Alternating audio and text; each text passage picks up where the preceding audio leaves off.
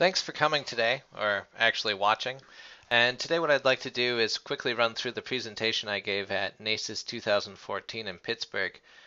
And partially I'm doing this for anyone who missed it who might actually, for some reason, be interested in what I spoke about. And also, uh, in another sense, I'm doing it basically for posterity's sake so that I remember what I spoke about when I'm old and senile. So my name's Ian Muehlenhaus. I'm at James Madison University. And basically what I, am my current research is interested in taking theories of form, style, aesthetics, and meaning from other disciplines, particularly the humanities and literature and film studies, and adapting, basically attempting to adapt these to better study and analyze maps.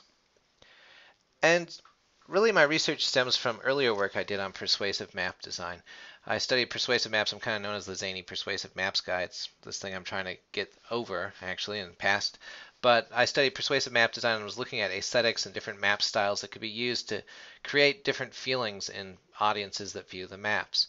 And while doing this research, I realized that a lot of the things I was talking about, they really applied to all maps, not just pers- over, you know, overtly persuasive ones.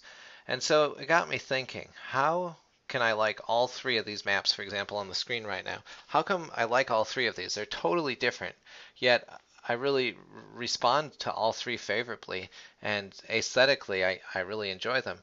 So, is there a way that we can start understanding why I like these three and what makes them each one powerful to me?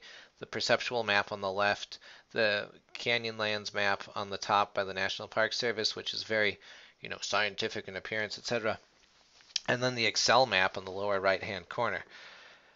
There's been a lot of talk in recent years about aesthetics and mapping. Uh, George McCleary and Aileen Buckley and others have been talking about it at previous NACIS conferences, particularly in Portland. And um, one thing that's kind of confounded me about the, the, these discussions are, besides the fact that they're enlightening, but one thing that's been frustrating is the fact that really we still haven't found good answers and there's no way there's no way to answer the question why do I like all three of these? What makes all three of these appealing to me? And so one of my goals is to try to more systematically understand map aesthetics and I think perhaps we can do that by shifting how we analyze it. There's a problem with map aesthetics. When we talk about aesthetics and we borrow borrow from fine fine art there's this problem because we know that aesthetic will change depending on the map audience. So I've got this Hello Kitty map of the world that I bought for my daughter on, on her bedroom wall, and it's it's her favorite. She thinks it's the best map ever, and it, actually I kind of like it too. I was notice I'm sneaking more and more pink on my maps now that I have a five-year-old daughter. But the point is, obviously, not everyone's going to think that this is the best map in the world. So aesthetic changes depending on audience, and that makes it very difficult to study and analyze.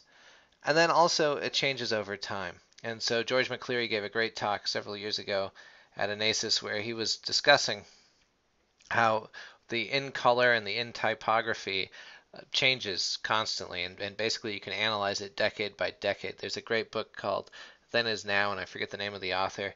Actually, I shouldn't say it's a great book. It's actually a really mediocre book, but it gives prime examples throughout of how color choices, color palettes, and, and type have changed throughout time, and what's hip one year very well may not be the next.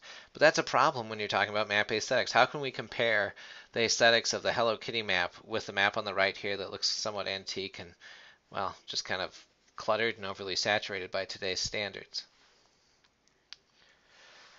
So, one thing that I've been thinking a lot about is that maybe when we're talking about aesthetics, we're not looking in the right places. Maybe we're we're thinking of maps as fine art because I mean in many cases they, they are very beautiful. They are the older, the more antique ones are often more ornate, etc.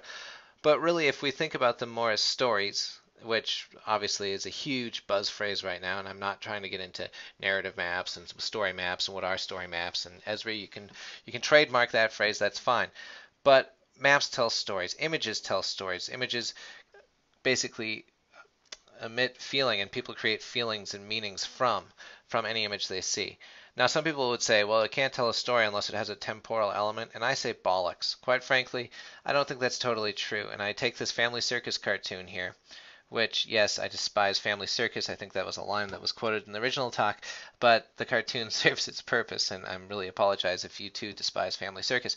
But basically this this picture is telling a story. It's telling the story of a child who's very frustrated with the fact that his his his art form and his his favorite you know thing to look at is being commodified.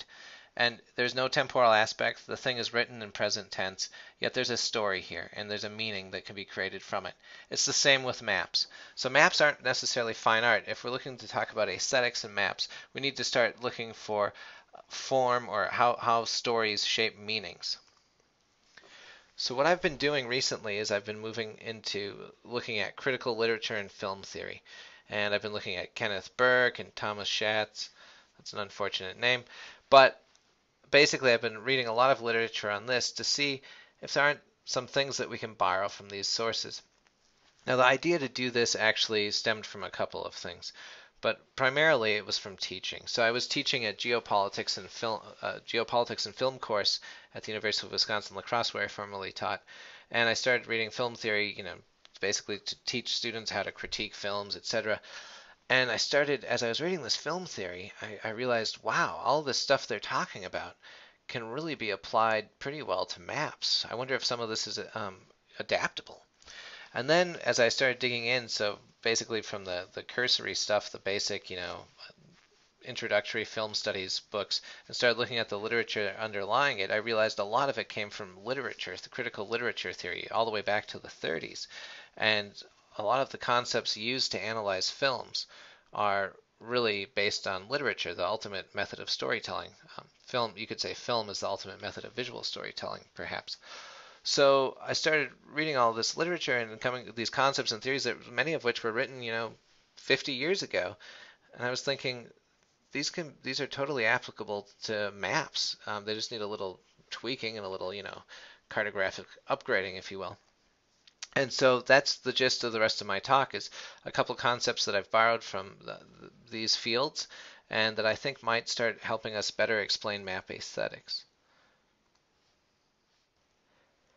So, what are maps? Maps are stories, and they're also um, they're also methods of creating meanings.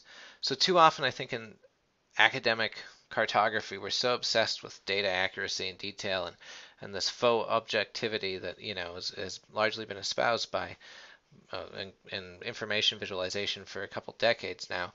You know, Tufte's, no chart junk, etc that um, we forget that basically maps are creating meanings. They're just like films in a lot of ways, in the sense that a film shapes people's realities. There's a real power there. And maps shape people's realities too. In a sense, one of the, the biggest connections I see between film and maps is both both involve an audience suspending its disbelief. So when you look at a map, you suspend the fa- the you suspend your disbelief in it, and you start to believe it's representing reality.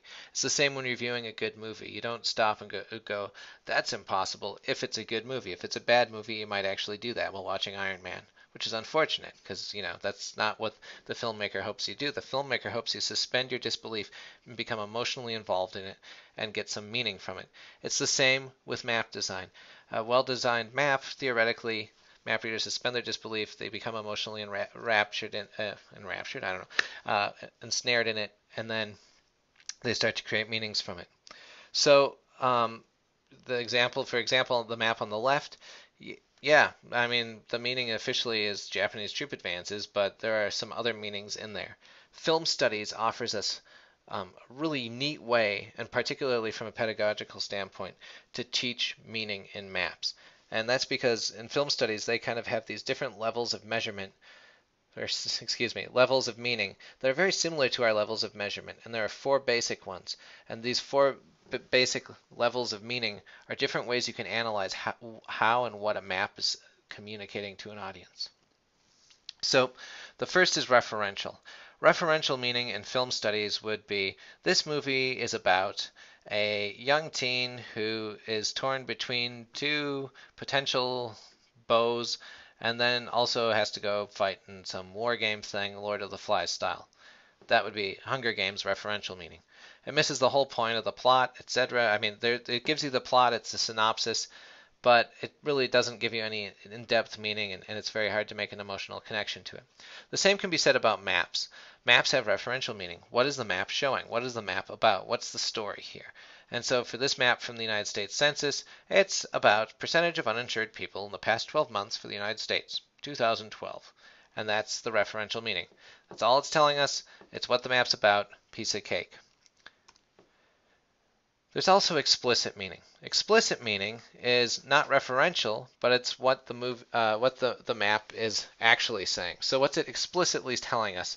Not necessarily data-wise showing us, but what's it telling us? The example here, the news map uh, from World War II, it was sent to U.S. troops every week. On the news map, this map is referentially, it's about U.S. troop advancements, the state of the war in the Pacific, but explicitly it's saying Japan's toast. It's surrounded, it's getting choked off, it's in a sea of blood. So hooray, it's, it's basically saying, don't worry, we got this one in the bag to the U.S. troops. A third level of meaning is implicit meaning. Implicit meaning is a meaning that's implied, a meaning that you hope a map reader derive that a map reader would derive from the map information. It's not referential, it's not explicitly stated, and often this is um, an aesthetic quality. So, for example, this is from the Atlas of Radical Cartography. It's an excerpt from a map of extradition flights the CIA has flown.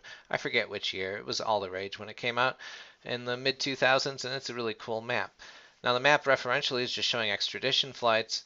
Um, explicitly, it might be more difficult to figure out what it's saying, although I forget maybe the title is explicit. But implicitly, the color, the design, the topic, the kind of very authoritative appearance of it, it's implying that hey, maybe this isn't cool. Maybe there's more. There are there are more rendition flights going on than we realized. And holy cow, a lot of people are being stripped of their rights and flown around the world without anyone knowing about it. So it's it's probably making some map readers a bit uncomfortable.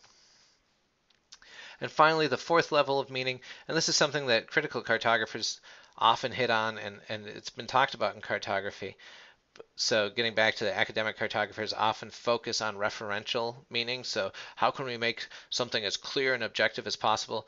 Well, critical cartographers have been concerned with symptomatic meaning.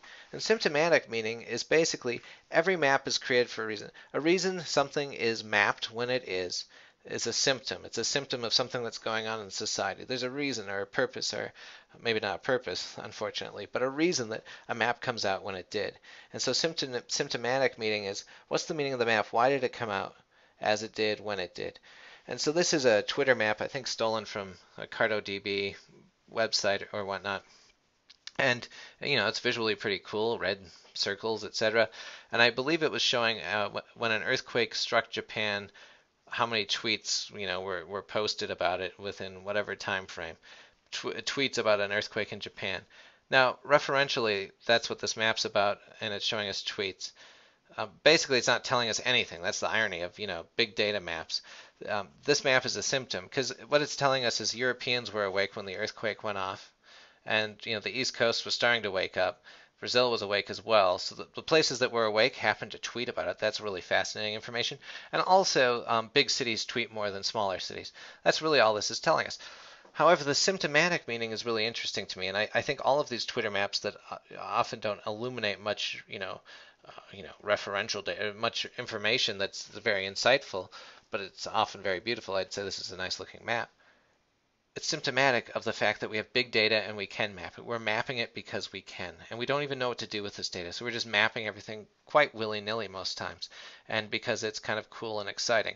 That's that's the symptomatic meaning of this map. This map exists because we have Twitter and because it's now possible to map it very quickly. So, meaning. With those four levels of meaning broken down from film studies, um, I think we can better understand how film critics analyze films. For example, yes, the movie Jaws is about a shark that's on the loose eating people. But that's not really the full meaning, right? There are that the, there are other meanings too. Explicit meanings shark sharks are super dangerous, and hopefully there's an loose one. Implicit meaning you should be, um, you know, might want to be scared next time you go swimming in the ocean. By the way, I still am. I'm terrified of oceans. And then the symptomatic meaning, I don't know what the symptomatic meaning was. Basically, they could make big, big animatronic sharks at the time when the movie came out, so that that's the symptomatic meaning.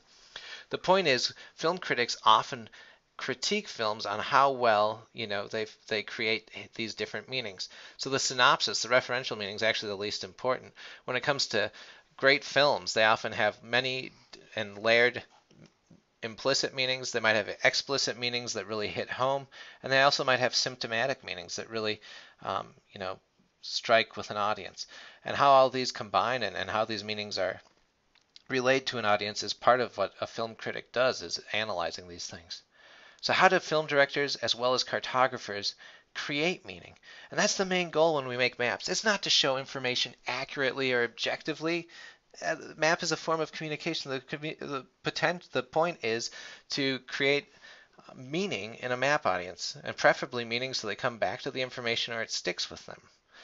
Uh, the, you know, basically the message that you're trying to create.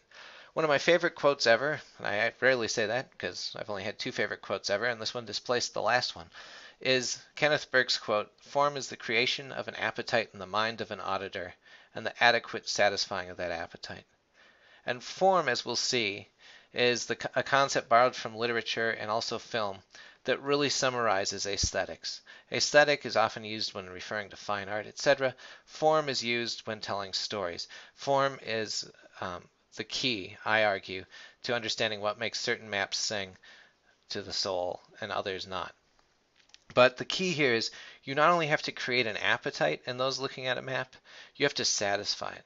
So you can have a lot of really good looking information, like this one, but does this satisfy any curiosity for me? No, not really. So it's it's beautiful, but it's not going to it's not going to turn into a memorable user experience, and it might not be one that I return to very much after I'm done recording this. Um, so you need to satisfy that appetite. Another way of thinking about it is you need to create curiosity and then fulfill that curiosity, and that's what makes something have good form. So what is form? Form is a system. It's it's it's it's an entirety. It's how everything in your map ties together. Just like in a film, actually, form and film would be everything from the opening credits to the script to the actors' movements to the camera angles to the soundtrack to um, a bunch of special effects added to the closing credits, everything, subtitles, everything tying together is a film's form. And form in, in map making would be all of these things. The trick is this Form is not a sum of its parts. Form is how well all of these interact with one another. It's an entire system. So a map, um, all maps have form. All, basically all um, methods of communication have form. But good form comes when all of these parts interact with one another really well. One thing that I think we've been doing in cartography, and myself included when I teach cartography, and I now feel horrible for all my former students, is we often emphasize individual elements. So we might look at the title, how to design a good title, or labels, how to place the labels perfectly, or graphics, or you know typefaces, etc., etc. And these things are really important to look at individually. However, oftentimes we create conventions for like how to lay out a legend, and actually th- that convention should be broken in a given situation because really we need to be talking more about how to tie all of these map elements together so they work well with each other in a given context, in a given mapping context. And when you do that, when you start work, uh, making sure that everything works well together to create meaning and try to create a message that you're trying to push across to an audience, that's when your map will have great form. That's when you'll get something like this. For example, you have a supplemental text box and you have what Tufte would probably have a heart attack over, you know, these this this chart junk at the back, these illustrations that are just distracting. Well, good. People should be distracted. And actually, I would disagree. These aren't distracting because they tie in perfectly with the rest of the map. They follow the feel, same color tones. They fill in this empty white space. They're kind of romantic in the sense, no pun intended, uh, you know, that they, they look ancient. and basically, this whole map, this map's like awesome, and I keep looking at it because the form is excellent. The type is well chosen and well spaced, good visual hierarchy. Everything works together. The legend is perfectly placed here. Um, you know, conventions about certain elements being together in a legend be damned. They've got some mimetic devices here. This map's form is epic. It's it's great. And that's what makes this map good, is how all these elements tie together. Not just the labeling, not just the color, you know, the color choices. And that's what map form is. Now, um, form also includes information. And this is important to remember. Um, so I, I, think I was emphasizing map elements, etc. It also includes all the data, all the data model manipulations you've made, etc. And so all of these have to really work well together to achieve your message. And when they do, your map will have great form.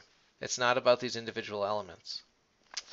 Now, critical literature theory goes on to break form down into more specific I guess you could say, subcategories.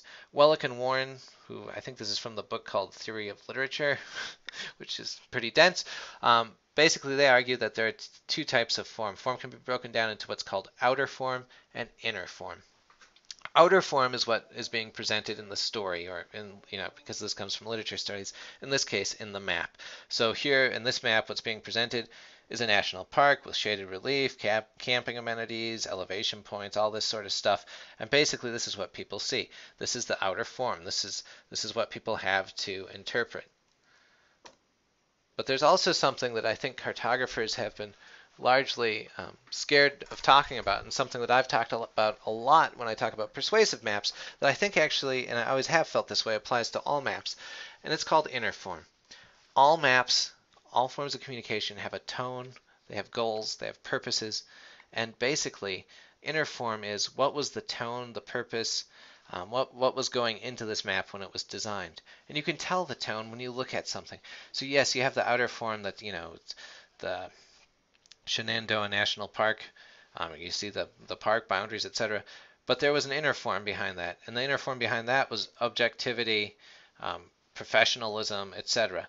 The inner form of this map, on the other hand, would be, hmm, I guess you could say, somewhat, um, somewhat propagandist, somewhat biased, quite frankly.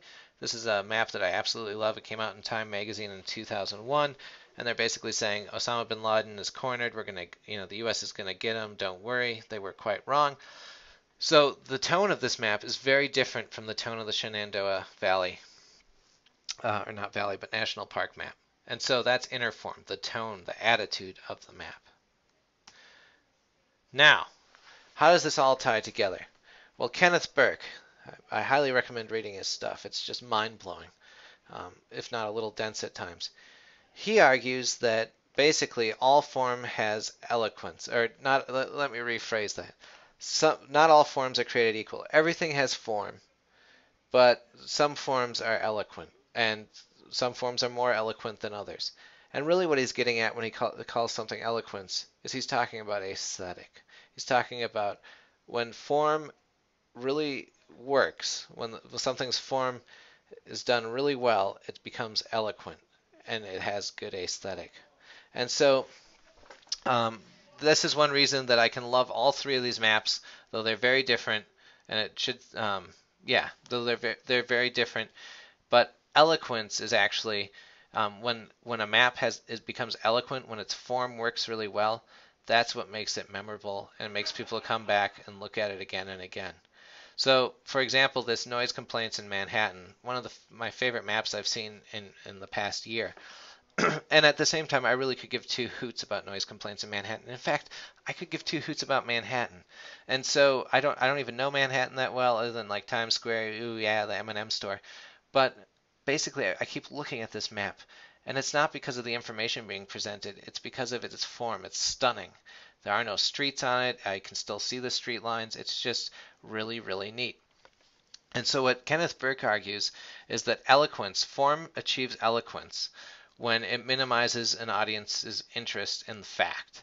Now, at first, that sounds basically, you know, anathema to everything cartographers stand for. I mean, data should stand on its own content over style, etc. Well, no. Kenneth Burke says there is no separating um, style from substance. They're the same. Style and substance are both part of form.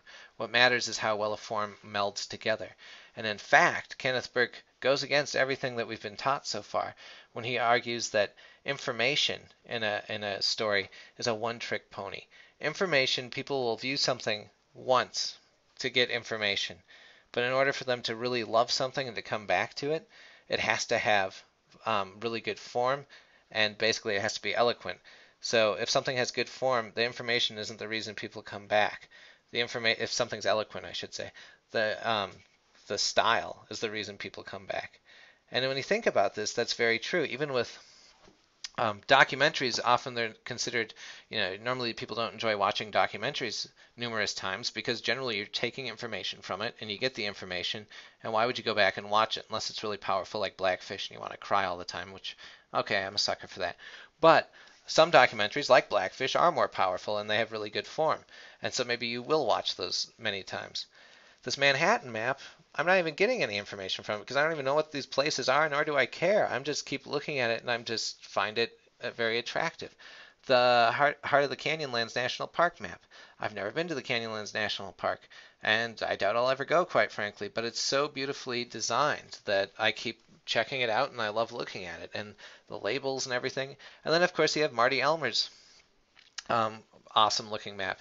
And quite frankly, I don't care what the Democratic Republic of Congo's or Zaire's number one term on Wikipedia is. That's not why I keep looking at it. The information's re- it doesn't matter. It's about the form. It's eloquent and it's stylish, and that's why I keep looking at it. So how can we start analyzing this stuff? Well, Kenneth Burke argues that there's this kind of axis of eloquence. And so maps can be not all not all types of eloquence are the same. There are two extremes. There's what he calls mannered eloquence and styled eloquence. Mannered eloquence is uh, basically these are conventions that are followed to a T, and when the, um, so when the form is really pulled off well, um, it's still very eloquent, but it's mannered, so it follows certain conventions and predictable and established norms. For example, the national park map on the last page is mannered it's mannered style or excuse me mannered eloquence. Its form is mannered it's very predictable it's very professional looking the inner form's professional and objective. It it's uh you know it's, it's very referential and meaning. Basically it's not you're not going to find many implicit meanings in there unless some of the place names have uh, you know Native American wars on them or something. So the benefits of using of mannered eloquence, designing a map that's eloquent but very conventional, is that it's really easy to interpret for an audience, and the referential meanings, what it's about, are generally very clear. So this is a very effective form type to use if you're trying to create a very clear map. Hence, Tufte just loves these maps. Really, what Tufte loves is he loves mannered eloquence. He loves he loves map really well designed uh, map forms that are that are mannered. The drawback, of course, is that they're often quite boring, and they start to look like they were, you know, drawn by robots or very minimalist, which you know can be aesthetically pleasing, but not exactly the most exciting thing. There's a danger that viewers are less likely to um, be emotionally affected or create meanings from them, and, and that's a real drawback. Sometimes you want would like to create a map that where the people get can create meaning from. A U.S. topographic map is mannered. I wouldn't say it's eloquent, but it's definitely a mannered um, form. On the flip end, you have styled eloquence. Styled eloquence are maps, or this is again borrowed from literature and film studies, films or books that don't follow convention. They break the norms. Uh, an example, a prime example, would be the film Pulp Fiction. One reason it's more awesome if you're into gang movies than most gang movies is because it goes back and forth through time. Characters disappear at the start and show up again at the end. It's very unpredictable. It's very styled, and that's very powerful um, it makes you want to watch it again and again, at least a couple times until the violence starts to overwhelm. The benefits of using styled maps are pretty clear. For example, you've probably already looked at this African map more than you would have at a map made in GIS with each country labeled in the middle right? So the style is what's drawing you in, not so much the information per se, but the style gets gets map audience interest. It can also push the envelope for mannered maps, and often what ends up happening is something that's styled to begin with ends up becoming pretty mannered. There it starts to become conventional, and we're starting to see that with typographic maps. Uh, the drawback, of course, is that my mother might not get this map. She might look at it and be like, huh, what is this? She might not even recognize the continent, quite frankly, but that's beyond the scope of this study. So lack of conventions can make your audience uncomfortable, and they'll often miss any meanings that you were trying to create for them. But styled maps are often better at uh, you know getting implicit implicit uh, meanings across to an audience. An example in film would be 2001. 2001 is probably one of the more extremely styled films I've ever seen. I still don't understand everything about it.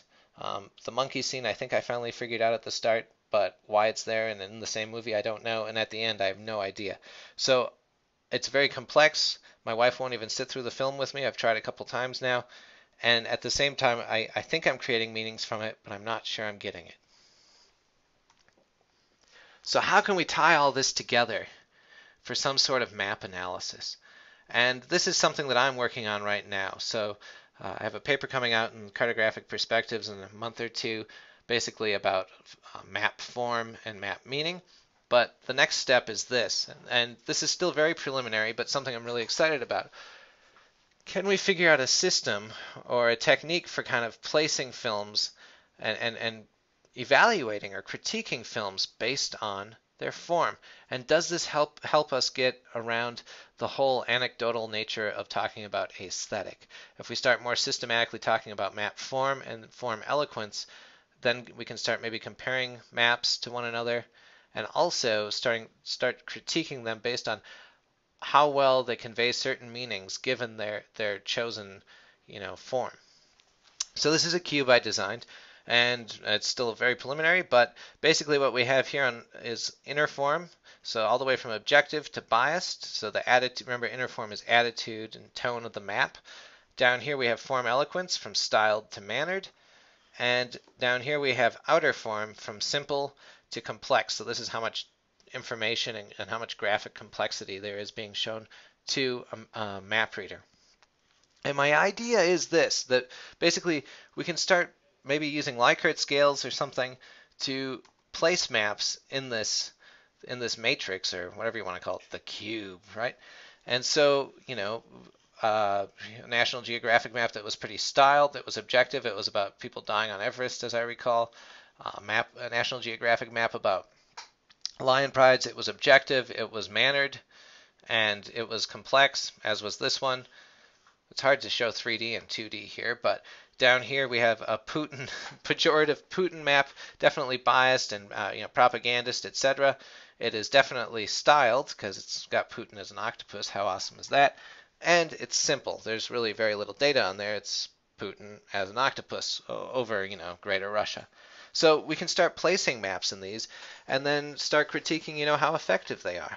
And really, what what I'm excited about, I guess, is that we can compare the New Yorker cover in this. We can compare persuasive maps in this, Nazi maps, you know, Soviet propaganda maps. We can compare bathymetry maps. It doesn't matter because all maps have form. And it's, so this is the most exciting thing to me.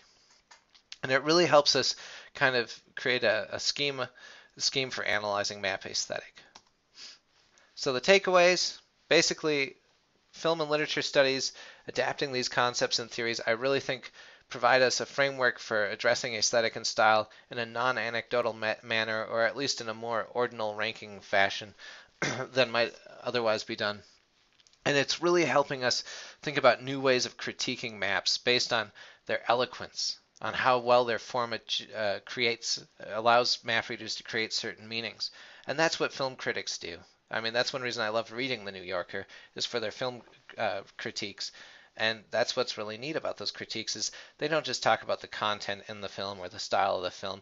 They they break it down by meaning and they they're talking about how well it all ties together. And I think this is a new approach for for critiquing maps. Future directions, well, the next step I think is to see how well this model holds up and potentially, you know, start just seeing how different maps might fall into this model and whether it's of any use in the long term. Secondly, if maps start clustering in certain areas of this model, um, the next thing to look at is map genres. Just like you have film genres, are there certain conventions, even in styled conventions, for espousing certain meanings or creating certain meanings? And then I'm really excited to keep revisiting film and literature theory. It's been really fun to read. And that's that. My throat's dry. I'm sitting in an office. My allergies are kicking in. I'm going to sign off now. If you have any questions, please feel free to email me, contact me. And uh, um, if anyone's interested in collaborating on some of this stuff, I'd be excited to do it. Thanks a lot. Bye.